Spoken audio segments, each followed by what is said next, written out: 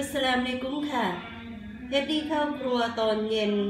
วันนี้เรามีปลาตาจงสดๆนะคะลกิโลละ 60 บาทเอง แต่มันจะตัวเล็กนิดนึง แต่เนื้อก็เยอะอยู่นะคะ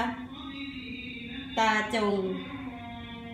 จงมันน่าจะมาจากกระจงนะคะ คล้ายๆกับกวางนะคะ ตามันคงโตเหมือนกับกระจง เขาเลยเรียกว่าปลาตาจงค่ะ ทีนี้เราก็จุดไฟตั้งกระทะ ไม่ใช้หม้อค่ะ เพราะว่ามือเดียวมันทำยากอยู่บิสมิลลาฮิ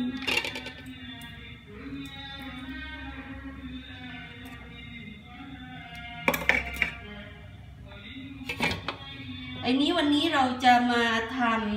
ำปลาต้ม ต้าเจี้ยวค่ะ ปลาต้มเต้าเจี้ยวนะคะ สูตรของคุณแม่เช่นกันนะคะ เราจะต้องเจียวเครื่องให้มันหอมก่อน ซึ่งเครื่องเราก็จะมีหอมหอมซอยหอมซอยค่ะ หอมซอยเนาะใช้หัวเดียวเพราะปลาสามตัวเองใส่ลงไป แล้วก็กระเทียมแล้วก็หั่น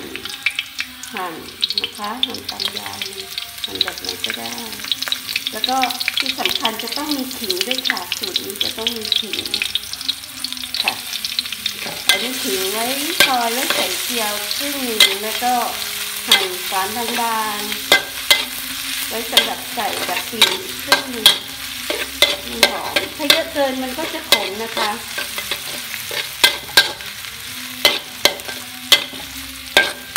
เป็นเมนูที่อร่อยเช่นกัน ซึ่งลักษณะส่วนประกอบของปลาแล้วก็ของเครื่องประกอบทั้งหมดเนี่ยมันก็คล้ายๆกับปลาเทียนนะคะประมาณปลาเทียนแต่ว่าแต่ว่าอันนี้เราใส่น้ำลงไปนะคะตะไคร้เราก็ใส่เป็นทุกเป็นต้น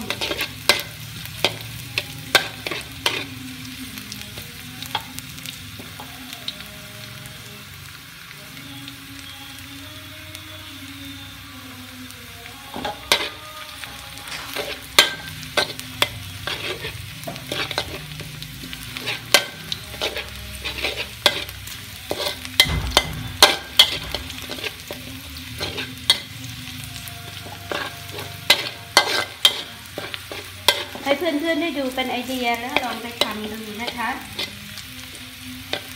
เป็นเมนูที่ไม่ได้ทำบ่อยมากเหมือนกัน ส่วนใหญ่ก็จะกินปลาต้มๆมากกว่า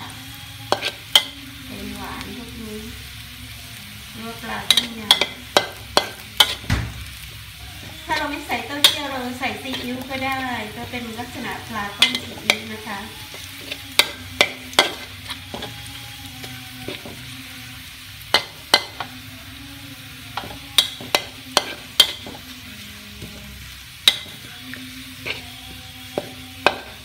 สุรอัน บากรอไว้ค่ะสุรอันบากรอเป็นสุรที่สองของอันกุรอานยาวที่สุดนะคะมีจำนวนอายะมากที่สุด ซึ่งสุรนี้เนี่ยในฮะดีษบอกว่าสามารถที่จะป้องกันชัยตอนไม่เข้าบ้านค่ะถ้าเราฝึกใช้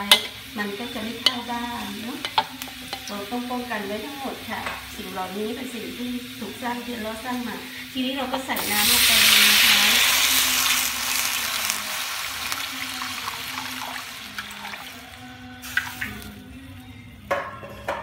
ใส่น้ำลงไป แล้วก็ใส่ตะไคร้ทุกค่ะ ใส่ตะไคร้ทุกลงไป ใส่ขิงนะคะ ขิงหั่นแว่นทีนี้เราก็จะให้น้ำแกงมันเดือดเป็นคนที่ลืมอะค่ะเตรียมของไม่หมด ทีนี้ก็ชะแวบมาอีกแล้วชะแวบมาเอามะขามค่ะ มันจะต้องมีรสชาติเปรี้ยวด้วยนิดนึง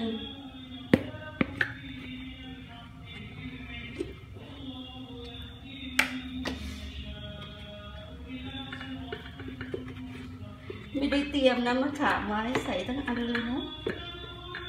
ไม่ต้องซีเรียสอะไรมากมาย นี่คือสไตล์เอ๊ะใช้เท่านี้น่าจะได้ฝักหนึ่งบิสมิลลาฮิร เปรี้ยวไปก็เป็นเรื่องเลยเหมือนจะเปรี้ยวไป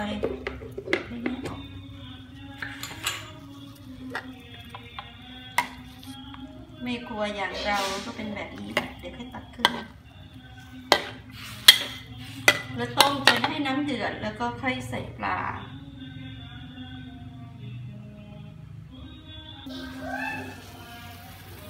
ทีนี้น้ำแกงก็เดือดแล้วนะคะ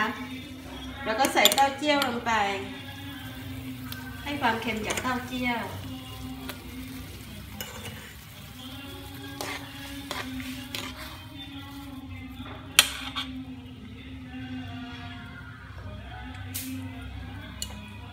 ใส่ทั้งหมดเลยค่ะ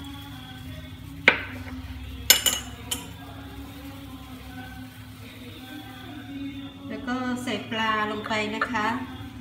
บิสมิลลาฮิ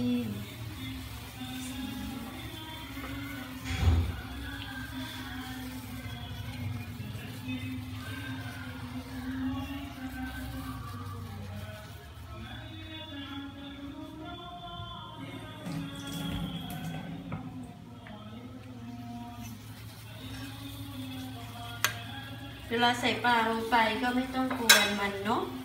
เดี๋ยวก็ให้ปลามันสุก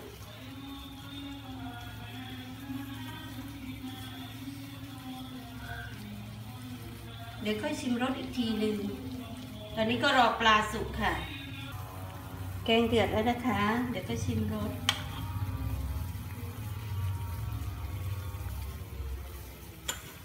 ความเค็มปลาแล่นต้องเติมอีกนิดนึง คงไม่ไปเอาเต้าเจี้ยวแล้ว ทีนี้เราก็ใช้ซีอิ๊วขาวหยดลงไปนิดนึงค่ะโอเคความเปรี้ยวเมื่อกี้ชิมแล้วก็เอาเอามะขามออกนิดนึงนะคะ ชิมไม่ได้เลยเราจะไม่ใส่น้ำตาลก็ได้ แต่ว่าเท่าที่ชิมเมื่อกี้ อยากจะใส่น้ำตาลลงไปนิดนึงปกติแกงเนี้นี่ไม่เคยใส่ค่ะ วันนี้ใส่นิดนึง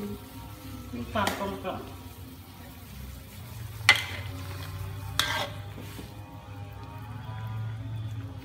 ปลาสดจะทำให้แกงอร่อยนะคะ แล้วก็การใส่สัดส่วน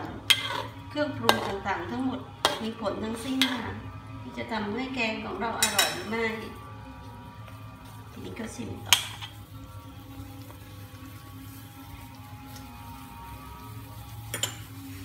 กลมกล่อมอร่อยค่ะ เดี๋ยวเพิ่มซีอิ๊วอีกนิดนึง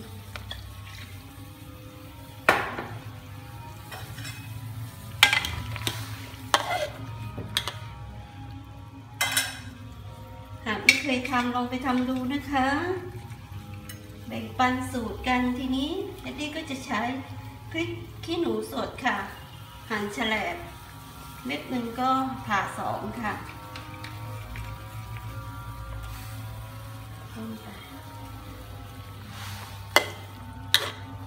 มันจะได้มีความหวานเปรี้ยวเค็ม เผ็ดนิดๆหอมสมุนไพร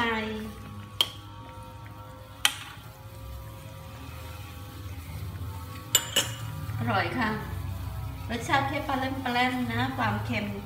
ไม่เคยใช้เค็มมากนะคะ ของยิปปี้จะใช้แบบนี้ ไอ้นี้จะใช้ต้นหอม ปกติใช้ต้นหอม แต่พอดีวันนี้ต้นหอมมีไม่เยอะนะคะ ก็ใช้ผักชีร่วมด้วย ก็ใส่ลงไป อร่อยค่ะ